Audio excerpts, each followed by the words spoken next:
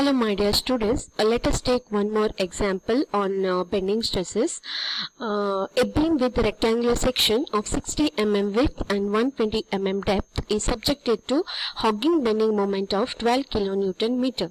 Determine the maximum bending stress induced in the section and draw the bending stress distribution along the depth of the section. Okay, uh, why I have taken this uh, example because in the last uh, example for the T section I have shown uh, the uh, stress bending stress distribution diagram. But uh, that was uh, I think for a positive bending moment means simply supported beam.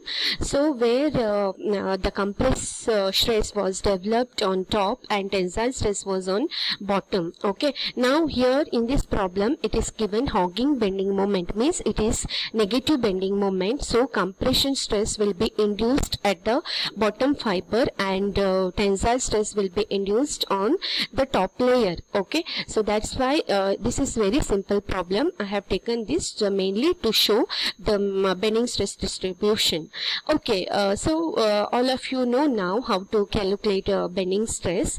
Uh, we have that formula m divided by i is equal to sigma divided by y or sigma you can write sigma b also no problem. So we want this sigma b so that is nothing but m into y divided by i. Okay for this purpose we required m. What is m? Here uh, this is uh, given width is 60 mm b is 60 mm and depth is 120 mm this is 120 uh, so first uh, let us calculate i uh, that is for rectangular section bd cube divided by 12 b is 20, uh, 60 and d is 120 so 120 cube divided by 12 you get 8.64 into 10 raised to 6 millimeter raised to the power 4 now what is y max?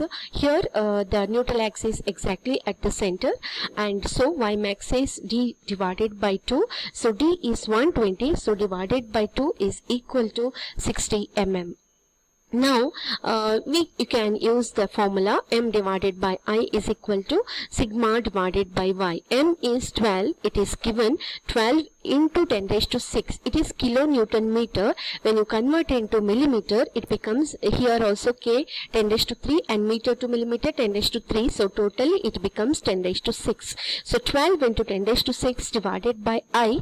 I is 8.64 into 10 raised to 6 is equal to sigma b divided by that we have to calculate.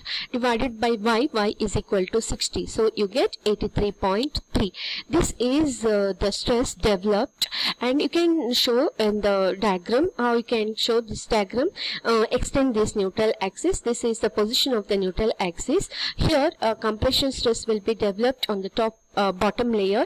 So this is uh, compression that is minus negative. So it is towards the left side okay? And here on top tensile stresses will be induced and that is plus and this is moving towards the right side. So you have to show the uh, diagram with the arrow marks like this. This is plus okay? I have not uh, written this is uh, plus tensile and this is minus compression. That's why it is moving towards this side left and uh, this is uh, towards the uh, right side. Okay? So this is about um, this problem how to draw stress distribution uh, diagram for i mean bending stress distribution diagram let us take one more example. Um, the cross section of a beam is as shown in figure. If the permissible stress is 150 Newton per millimeter, find its moment of resistance. Also compare it with compare it with equivalent section of the same area for a square section which the beam can resist. Okay, here this problem is given of I section. Okay, now what you have to do you have to compare it with the square section. So how we will do? First let us take this i section. Uh, it is given okay to 200 into 10 mm one uh, this section and other section also 200 into 10 and uh, this is uh, uh, total it is 400 so this distance is 400 minus 10 minus 10 so it becomes 380 into 8 okay this is the area. So we'll calculate first area of the section. So here uh, two sections are this is symmetrical I section. So symmetrical rectangular sections two rectangular section. So 2 into 200 100 into 10 plus this uh, section I have to consider. That is uh, the depth is here uh, uh, 380 because 400 minus 20 380 and this is the width okay? 380 into 8 uh, so um, you will get area is equal to 7040 mm square. Now what you have to do, you have to calculate the moment of inertia of the I section. How you can calculate uh, that is uh, capital BD cube divided by 12 minus small BD cube divided by 12. Okay, here what is uh, capital uh, B that is uh, 200 and capital D is 400 divided by 12 minus what is small uh, b uh, small b is total this is 200 200 minus 8 that is small b that is 192 into d cube d is total it is 400 minus 20 that is 380 that is small d. Small d is 380 cube divided by 12 is equal to when you simplify this you get 188.71 into 10 raised to 6 mm4 so now you know i you can calculate uh, mm, uh, uh, what is uh, section modulus so for that you required y maximum. Y maximum is capital d divided by 2 capital d is 400 so 400 divided by 2 that is equal to 200 mm now you can calculate section modulus that is equal to i divided by y maximum. I is 188.71 into 10 raised to 6 divided by 200 y max. So you get 943.57 into 10 raised to 3 mm cube. Now uh, you can calculate what is moment of resistance for I section. Moment of resistance that is equal to uh, actual that formula is m divided by I is equal to sigma divided by y. When you write in terms of moment of resistance you get sigma B into Z1. Okay, this Y I have taken 1 means this I section I have considered as section 1. Okay, so now uh, sigma B that is uh, given here permissible stress is 150. So 150 into Z, Z is 943.57 into 10 raised to 3. You get 141.53 into 10 raised to 6. Okay, this is Newton millimeter. So when you uh, convert into kilonewton meter, you get 141.53 kilonewton meter. This is about I section. So first part is done. Find its moment of resistance of I section. Next you have to compare it with the equivalent section of the same area for the square section. So what you have to do here for the square section let it be A2 that is equal to A square. This is a square section. So A into A that is equal to A square. Now the both the areas are equal. So A2 is equal to A1. So here uh, area of the cross uh, square cross section is let it be A2 that is equal to A square A into A.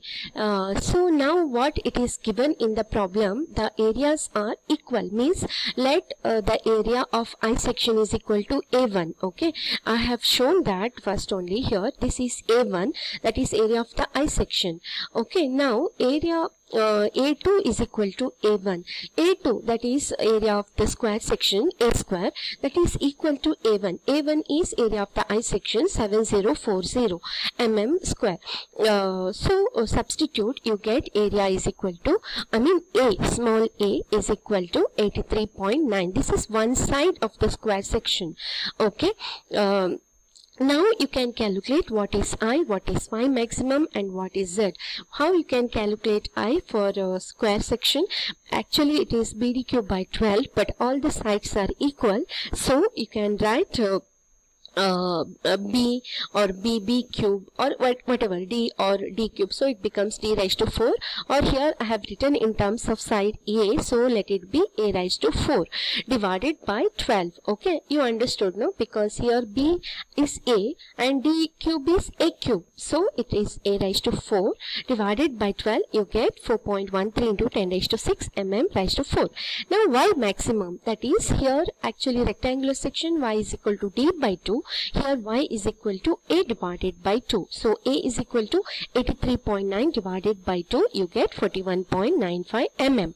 Now you calculate z2 z2 is i2 divided by y2 maximum. I2 is 4.13 into 10 raised to 6 divided by y maximum is 41.95 so you get 98.45 into 10 raised to 3 mm cube. This is section modulus. Now you can calculate what is moment of resistance for square section that is equal to m2 is equal to sigma into z2. Sigma it is permissible stress given 150 into z2 is 98.45 into 10 raised to 3. Substitute you get uh, simplify you get 40 in 0.77 into 10 raised to 6 Newton millimeter or 14.77 kilonewton meter.